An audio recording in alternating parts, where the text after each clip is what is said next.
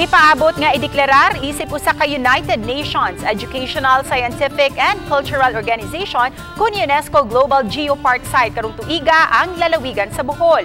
Napatik sa website sa UNESCO nga usa kini sa pito sa giilang geopark nga nominado sa Global Geoparks Council sa UNESCO. Ang laing unom bao ang Ijen sa Indonesia, Maros Pangkep sa Indonesia, Ara sa Iran, Waitaki Whitestone sa New Zealand, Kinabalu sa Malaysia ug Korat sa Thailand.